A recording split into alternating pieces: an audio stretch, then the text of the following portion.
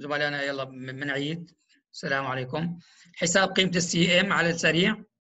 بعلاقة CM تساوي 0.6 ناقص 0 4 M 1 على M 2 طبعا إذا كان عندي العمود يتعرض لحمولة موزعة بانتظام عرضية أو جانبية ال M 1 على M 2 بناخذها بال absolute value وهي العزم الأصغر الموزع على العنصر على العزم بنهايات العنصر. ب M 1 و M 2 هي بالعزوم بنهايات العنصر.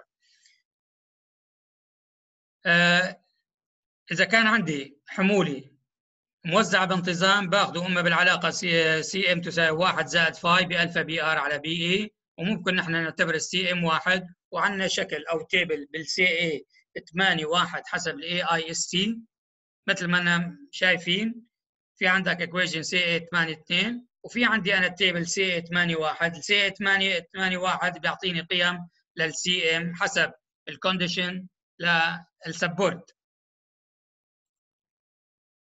هذا الشكل مثل ما حكينا للدكتور إني ماخذينه من ال AISC وموجود عندي أنا ال table CA 81 بيعطيني القيم إذا شفنا بالحالة الأولى اللي simple supported beam أو column معرض لضغط جانبي آه، طالما simple ال phi تساوي صفر وال CM بناخذها واحد. إذا كان موثوق من طرف مسدود من طرف ال phi ناقص صفر أربعة العلاقة ال CM هي واحد ناقص صفر أربعة alpha PR على PE. ال PR مثل ما قلنا هي الحمولة الموجودة على العنصر نتيجة الحمولات الخارجية وال PE واحد هي تحمل العمود للضغط وهي بنحسبها من علاقة أولر. طبعا كل شروط الاستناد وشكل القوى سواء عندي موزعة بانتظام أو مركزة بيعطيني العلاقة وبيعطيني قيمة ال phi لنطبقها بالعلاقة.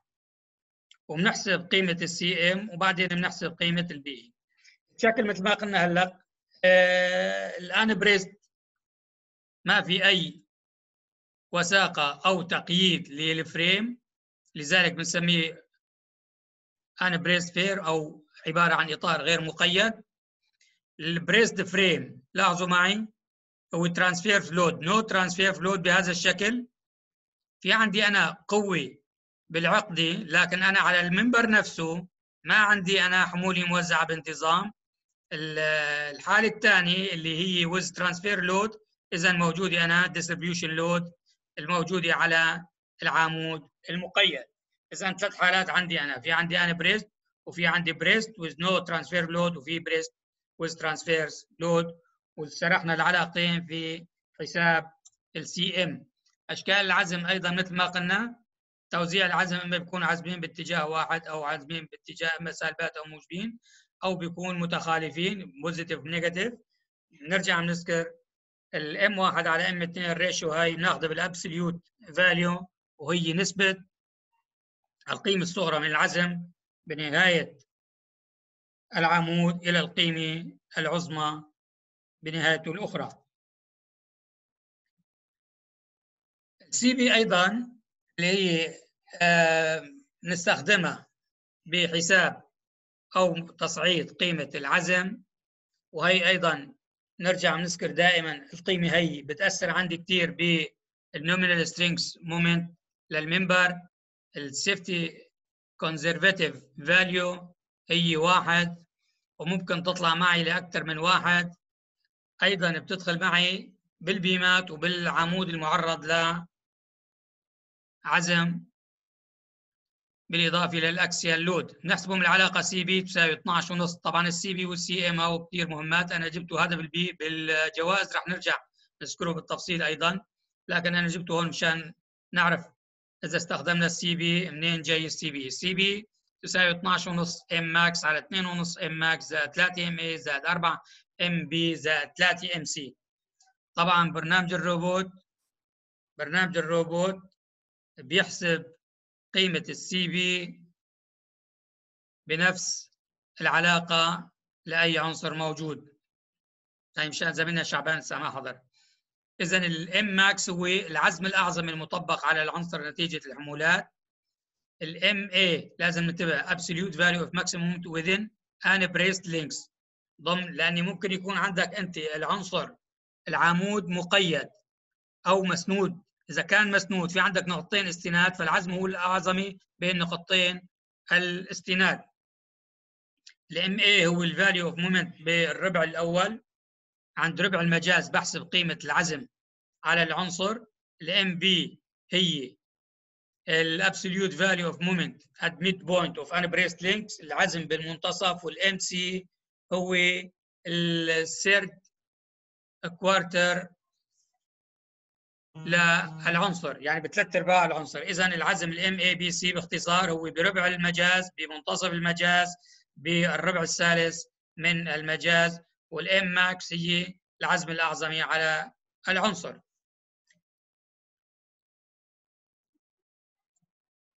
طبعا ال CB نفس العلاقة.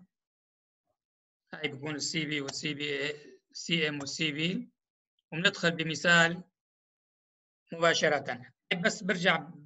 مثل ما شفنا نوضح بس أيضا فكرة ونفوت ب detail شوي. مثل ما حطينا هون جدول لقيم ال CM اللي ممكن أنا أحسبها مباشرة. أيضا لل CB هيمر عندي جدول أيضا باخذ القيمة مباشرة وبالتالي سهلت علي موضوع الحساب. المثال بنلاحظ المثال هون عندنا عبارة عن عمود معرض لعزوم. نتيجه ال dead load وال live load وفي عندي أيضا ال compression load بدي أحسب أنا تحمل هذا العمود اللي هو W. 12 ضرب 6 65 وطوله 14 قدم. العمود متوصل من الطرفين هو جزء من بريست فريم نحسب الحمولة اللي على العمود. من ال Pr تساوي Pu تساوي Pnt زائد PT B 2 في P lateral transfer load ال lateral transfer load هون ما عندي أنا. lateral transfer load لذلك قيمته صفر. وال Pnt هي الحموله المؤثره على العمود طبعا بتصعيد. بعوامل ال factor بتطلع معي 420 B 2 for braced frame تساوي الصفر اذا توزيع العزم عندي 70 73 ل 82.4 القوى المؤثرة عليه بحسب ال phi P ال phi Pn ال nominal strength من KL مثل ما شفنا بأحد الجداول. عندي KL موجود بتعطيني قيمة ال phi Pn للمقطع 12 65 ال Pu على ال Pn مشان نتأكد إذا كان أكبر من 0.2 مثل ما ذكرنا. في عندي علاقة أي علاقة؟ إما H 1 1A أو H11B إحدى العلاقتين لازم أستخدمها. طالما عندي ال Pu على ال Pn أكبر من صفر 2 اذا بدي أروح لل H 1 1 a.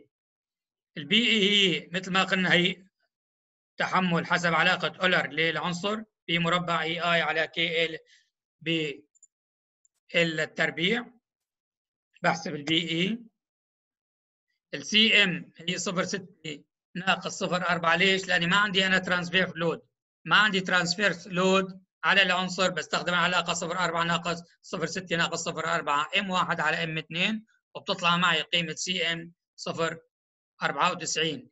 ال B واحد إذا هذا ال factor الأول هو CM مثل ما أخذنا أول واحد ناقص ألفا Pr على Pe ال Pr عندي إياها وال P حسبتها وال Cm عندي فلذلك ال modification أو ال amplification factor هو 1.23 نرجع لل Cb وحساب العزم.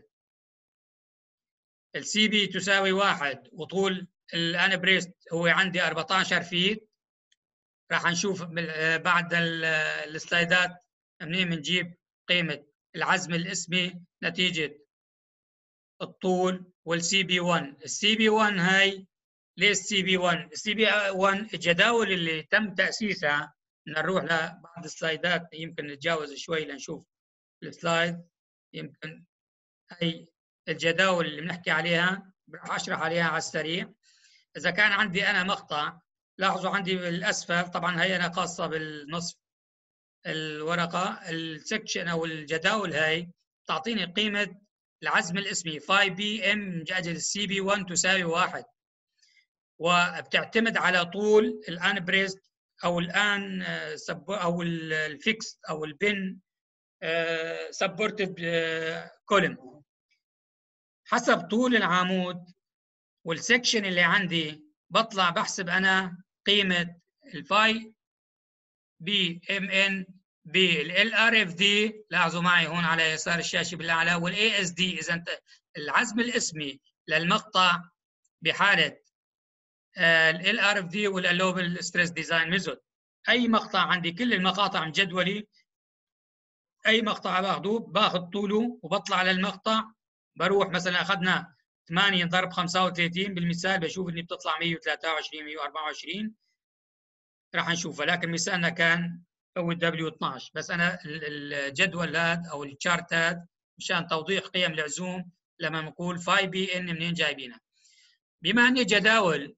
أعدت أو ال chart أعد من أجل ال Cb تساوي واحد.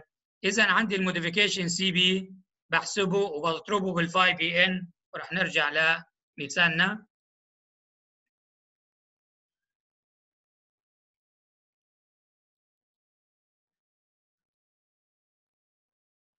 اذا ال Cb نحسبها من العلاقات اللي ذكرناها هي 12.5 M max على 2.5 M max زائد 3 MA زائد 4 MB زائد 3 MC. وطلع معي بالحساب 1.06 مضروب بقيمة ال phi Mn اللي طلع معي واخذتها من الجداول حسب ال chart بال part 3 بال manual AISC ال Cb واحد مثل ما شفنا بال chart وال Lb هي 14 feet. اذا حسبت ال Mnb وحسبت ال Pr ما ضل عندي غير. أحسب phi b Mp واللي هي أيضا from chart بيعطيني إياها 366 اذا عندي 366 في ال phi b Mp وعندي ال phi Mn بال yielding اللي هو 356 اذا بأخذ ال 356 تحمل العام تحمل العزم الأقل مشان اطبقه أنا بالعلاقة. اللي عندي. طيب ال Mr شو عندي؟ ال Mr إذا ال Mr حسب العلاقة هو B 1 ب Mnt زائد B 2 ب Mlt وتساوي 1.023 ب 82.4 زائد 0 ويساوي 83 Mux. بطبق العلاقة H1A بيطلع معي ال ratio أقل من واحد إذا العمود اللي مقطعه 12 ب 65 يتحمل الحمولات اللي عليه بالمقطع الطريقة الثانية هون عندنا بال ASD بنفس ال procedure اللي بنمشي عليها بحساب ال P allowable مقسومة على التحمل الاسمي أيضا ال allowable وبقارن مع الصفر اثنين ونفس العلاقة بستخدمها و Cb بنفس القيمة أيضا طلعت بالأخير لاحظوا مع ال ratio. طلع أقل من واحد وقريبه جدا جدا من ال ratio بال D method.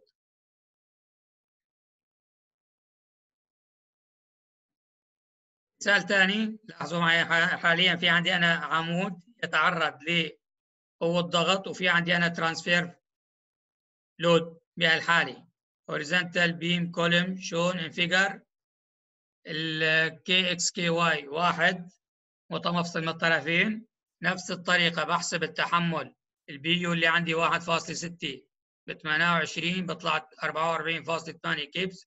بحسب ال Qu أيضا ال ultimate بحسب الدبليو يو وبحسب ال Mu اللي بتعرض له هذا المقطع من خلال الحمولات اللي عليه. طبعا ال Mlt أيضا ما عندي عزم جانبي لذلك صفر.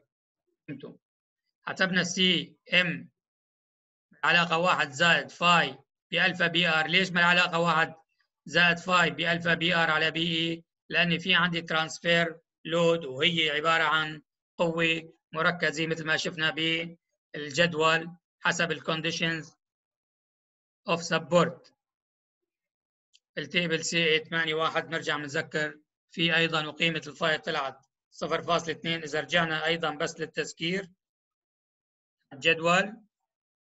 راح نمشي شوي معلش لاحظوا الجدول في عندي قوة مركزة. إذا ال phi ناقص صفر اثنين.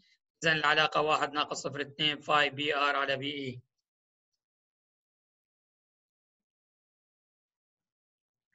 حسبنا ال Cm نحسب Pe. ال Cm طلعت 0.99 ال B واحد هو ال Cm على واحد ناقص alpha Pr على Pe. طلع 1.015 بطبق ال Mu بال modification factor B واحد و B اثنين. بطلع بقى عندي ال modified Mu على المقطع. عندي ال Mn phi b Mn. ال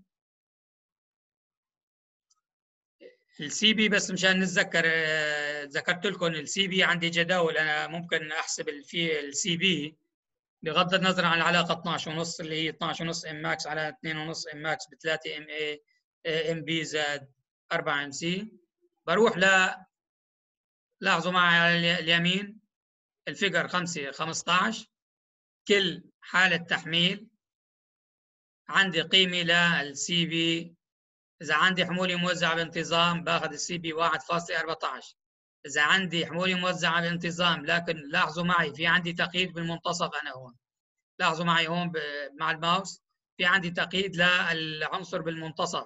تقييد بالمنتصف ال Cb راحت معي ل 1.3 لاحظوا معي أنا طالما ال Cb 1.3 إذا التقييد بالمنتصف رفع لي التحمل ل 30% تقريبا. ومن هون نذكر أهمية معرفة الأصول النظرية للتصميم لتفيدني بعملية استخدام البرامج. إذا ال Cb حسب ال condition عندي تلاحظوا معي إذا عندي أنا قوة آه، مركزة وعندي في تقييد باثنين ال Cb بتطلع عندي لل A B and C D A B and C D بيطلع 1.67 بينما العنصر بالمنتصف B C باخده واحد. لازم أنتبه لهالأمور هي بحساب قيمة ال Cb نرجع بعد ما حسبنا ال Mu وال Mn للمقطع وحسبنا ال Pu نرجع للعلاقة نحققها ونشوف ال ratio أصغر من واحد اذا المقطع أيضا يحقق بدنا نرجع بس مشان تتأكدوا من المقاطع. إذا المقطع أنا عندي شو المقطع اللي عمال أشتغل عليه؟ لاحظوا معي المقطع. نحن مختارينه 8 ضرب 35 مشان بس نتأكد من العمل على ال chart. 8 ضرب 35 رول ال chart. لاحظوا معي. هذا ال chart 8 و35 وال B 10 اذا في خط مستقيم لل chart اللي بيتقاطع معه. قاطع معه بروح إلى اليسار. بطالع أنا هي عندي 120 وهون تقريبا 123 123 إذا بقول أنا ال phi. b Mn 123 ومنلاحظ القيمة هي 123 ماخذينها. لاحظوا 123 وهي بس كيفية استخدام الجداول. بعد حساب نرجع نذكر ال phi Pn وال Mux. على المقطع وال phi b Mnx. بعوضها بالعلاقة وبحسب ال ratio لازم تطلع أكثر أصغر من واحد. إذا المقطع safe بالنسبة للحمولات اللي عليه. طبعا هون عندي بال ASD ما راح أتوسع فيها لأني بنفس ال procedure مثل ما شفنا بالمثال السابق وبتطلع عندي النسبة كمان صفر. 888 أصغر من واحد والمقطع أمين بالنسبة للحمولات اللي بتعرض لها. مثال أيضا عندي هون W 12 ضرب 65 والستيل 264 آه باقي عنا والله باقي عنا وقت قليل لذلك آه بدي أكتفي بالشرح. بس مشان ما ندخل بوقت أكثر ونضطر لنص ساعة زيادة بدي أكتفي بهالمثال وحساب ال Cm وال Cb وحساب تحمل عمود القوى وإن شاء الله الدرس القادم نتابع بالأمثلة على الأعمدة المعرضة لعزوم وقوة ضاغطة حتى تكون أن مية بالمية إن شاء الله. والسلام عليكم.